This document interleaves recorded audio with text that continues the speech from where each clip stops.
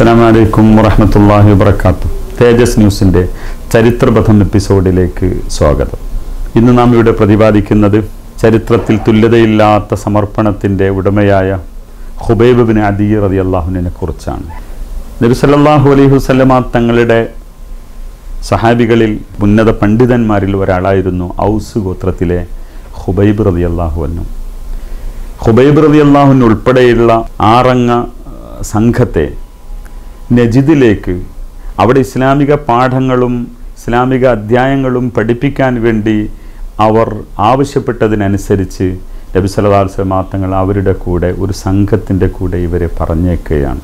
എന്നാൽ ചതിയിൽ അവരെ വധിക്കുവാനും അവരെ ബന്ദികളാക്കുവാനുമായിരുന്നു ഇവർ ലക്ഷ്യമിട്ട് കൊണ്ടുപോയിരുന്നത്. അങ്ങനെ മക്കയിലെ അടുത്ത് അസഫാൻ എന്ന സ്ഥലത്തെത്തിയപ്പോൾ അവരുടെ സ്വഭാവം മാറുകയും ഈ പണ്ഡിതന്മാരെ വധിക്കാനുള്ള പ്ലാനിൽ അവർ എത്തിച്ചേരുകയും ചെയ്തു ആ സമയത്ത്. അതിൽ ചിലർ ചെറുത്തുനിന്നു മറ്റു ചിലർ അവിടെ കൊല്ലപ്പെടുകയും ചെയ്തു.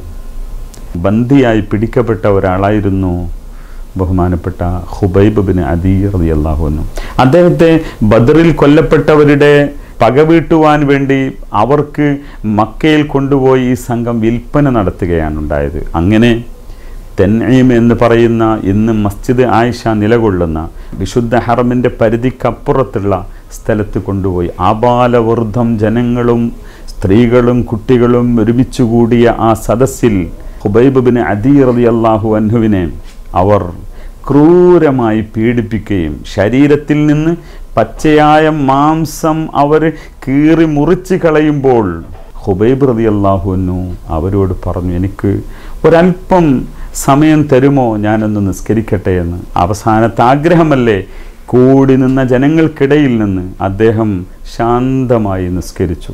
നിസ്കാരം കഴിഞ്ഞ ശേഷം അദ്ദേഹത്തോട് അവർ ചോദിച്ചു നീ ഒരൊറ്റ കാര്യം നിനക്ക് പറയാമെങ്കിൽ നിന്നെ ഞങ്ങൾ മോചിപ്പിക്കാം.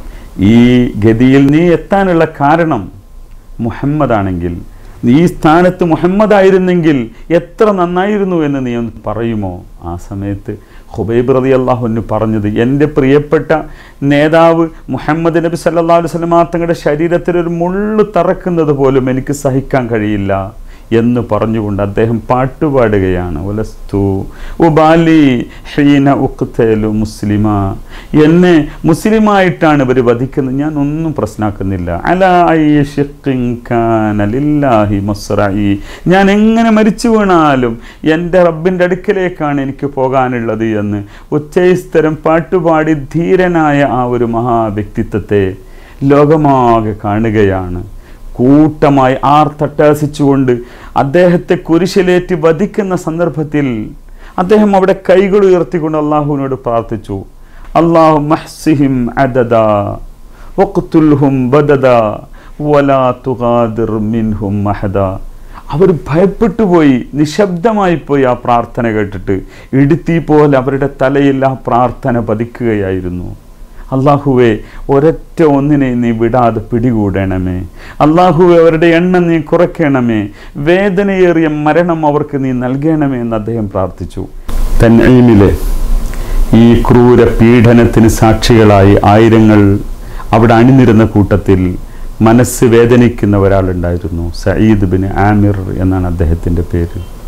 അദ്ദേഹം ചിന്തിക്കുകയാണ് എന്തൊരു പ്രവാചക സ്നേഹമാണ് ഇവരുടെ മനസ്സിന്റെ ഉള്ളിൽ? എന്തൊരു ദൃഢചിത്തതയാണ് ഇവരുടെ മനസ്സിന്റെ ഉള്ളിൽ? എന്തൊരു സമർപ്പണമാണ് ഇവർക്കുള്ളത്? ജനങ്ങളൊക്കെയും കൂടി നിന്ന് വധശിക്ഷയുടെ വക്കത്ത് നിൽക്കുമ്പോൾ എന്തൊരു ശാന്തമായാണ് അദ്ദേഹം പ്രാർത്ഥിക്കുന്നത്? എന്തൊരു ശാന്തമായാണ് അദ്ദേഹം നമസ്കാരം നിർവഹിച്ചത്? അദ്ദേഹത്തിന്റെ ശരീരത്തിൽ നിന്ന് പച്ചയായ മാംസം കഷ്ണം കഷ്ണമായി മുറിച്ചെടുത്ത് രക്തമൊലിക്കുമ്പോഴും ഒരു അണുവളവ് പതറാതെ അള്ളാഹുവിന്റെ മാർഗത്തിൽ ധീര രക്തസാക്ഷിത്വം വരിച്ച ആ ഒരു ധീരമായ നടപടിയിൽ മനസ്സ് നിറഞ്ഞ് എന്തായിരിക്കും ഇവരിതിന് പ്രേരിപ്പിക്കാനുള്ള കാരണമെന്നറിയാനുള്ള തിടുക്കത്തിൽ അദ്ദേഹം പ്രവാചകൻ സല്ലല്ലാഹു അലൈഹി സ്വലമാ തങ്ങളെ തേടി പോവുകയാണ്. അള്ളാഹുവിന്റെ ദീനിലേക്ക് ഇസ്ലാമിലേക്ക് ആകൃഷ്ടനാവുകയും ഷഹാദത്ത് കലിമ ചൊല്ലി അദ്ദേഹം മുസ്ലിം ആവുകയും ചെയ്തു. പിൽക്കാലത്ത് ഉന്നതനും മഹാനും കൂഫയിലെ ഗവർണറുമൊക്കെ ആയപ്പോഴും ഈ രംഗം കണ്ണടക്കുമ്പോഴേക്ക് ഹുബൈബിനെ അദ്ദേഹം കാണുകയാണ്. ഉറക്കത്തിൽ ഹുബൈബിനെ കാണുകയാണ്.